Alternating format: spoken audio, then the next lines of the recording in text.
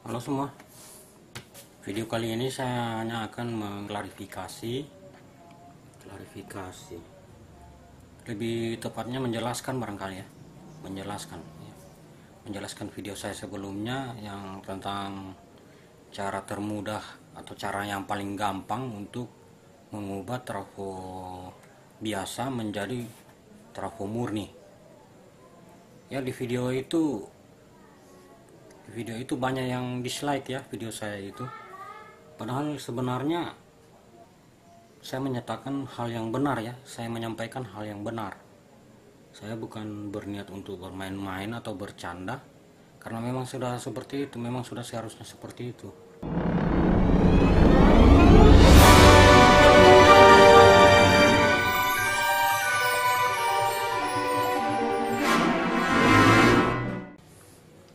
lanjut dengan pembahasan saya kali ini yaitu menjelaskan tentang video saya sebelumnya. Di video itu banyak yang dislike ya, padahal padahal itu adalah hal yang benar ya. Seperti ini, trafo seperti ini. Ini trafo 5 ampere murni. Trafo 5 ampere biasa yang bukan murni ya. Bisa dilihat perbandingannya memang berbanding jauh ya. Karena tebalnya karena tebalnya saja beda lebarnya tingginya pokoknya ukurannya saja beda. Ini 5 ampere murni 5 ampere bisa dilihat 5 ampere 5 ampere ya. Ini 5 ampere ini murni 5 ampere. Ini 5 ampere juga bisa dilihat. Mudah-mudahan kentara ya saya zoom dulu 5 ampere. Tapi ini 5 ampere biasa ya.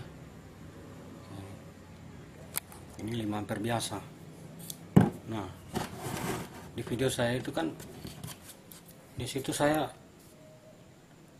di video itu bagaimana cara termudah cara tergampang yang paling gampang ya cara yang paling gampang untuk mengubah ini jadi murni ya itu ya rubah saja tulisannya karena menurut saya ini kalau secara murninya ini bukan 5 ampere ya ini paling tinggi ini 3 ampere. Ya, jadi untuk mengubahnya menjadi murni ya rubah saja yang tulisan 5 ampere ini menjadi 3 maka trafo ini akan menjadi 3 ampere murni. Iya kan? Karena tidak mungkin karena karena tidak akan mungkin kalau kita hanya merubah gulungannya diameternya kita mau tambah lebih besar mana mungkin bisa karena gapnya saja sudah tidak ada di sini. Tidak ada gap yang spasi yang kosongnya. Saya zoom dulu. Bisa dilihat sendiri trafonya. Di sini sudah tidak ada celah. Jadi kalau kita mengubah kawatnya menjadi lebih besar itu artinya akan volume gulungan akan bertambah ya. Mana mungkin bisa muat karena ini sudah sudah padat sudah full jadi volume gulungan tidak akan muat lagi kalau kita mau memperbesar kawatnya. Adapun juga adapun dengan mengurangi jumlah gulungan lalu kita memperbesar kawatnya. Artinya dalam hal ini skalanya kita rubah ya.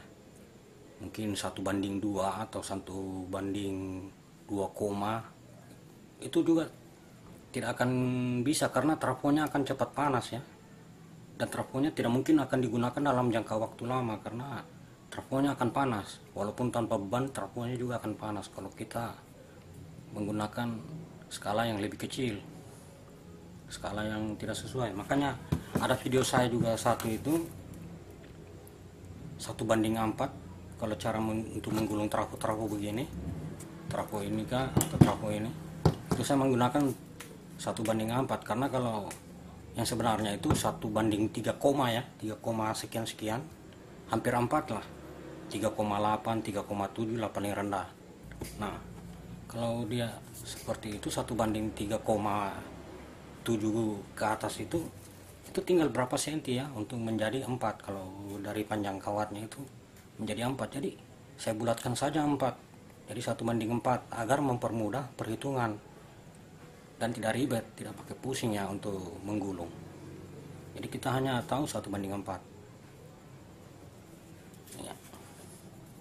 di video saya yang ini ya situ tentang satu banding empat ya atau yang keduanya ini ada dua ya satu menggulung cara menggulung trafo intubasi yang satu menggulung trafo CT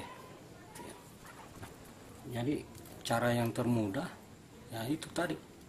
Rubah saja tulisannya.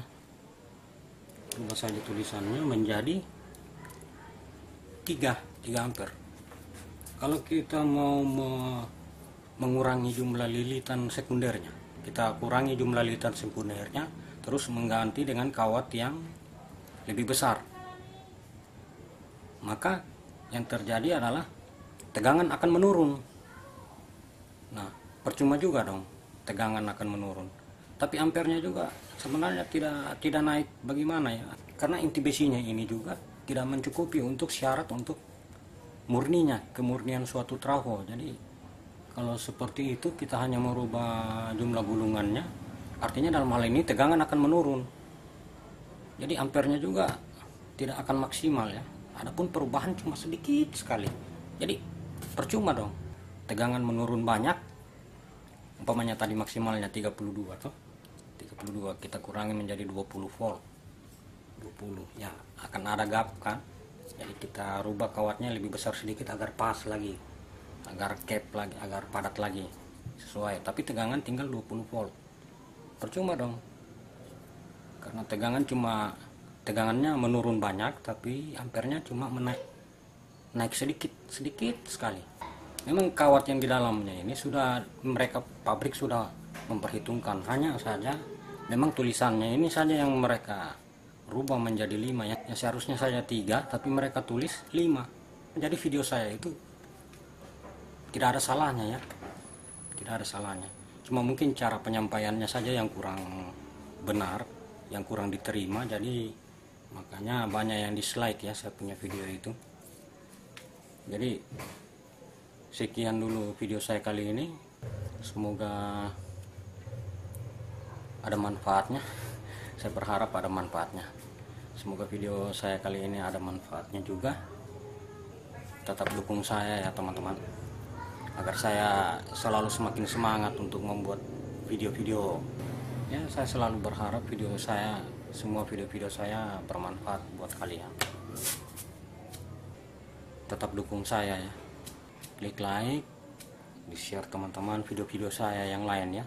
Kalau video ini mungkin tidak perlu karena tidak terlalu bagaimana ya. Hanya sekedar saja ya penjelasan video sebelumnya.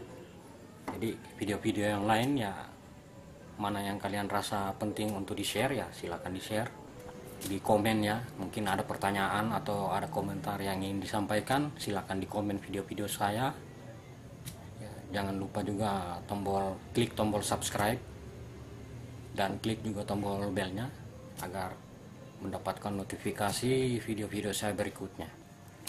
Oke? Salam sukses buat kalian. Semoga selalu sukses. Banyak rezeki amin. Sampai jumpa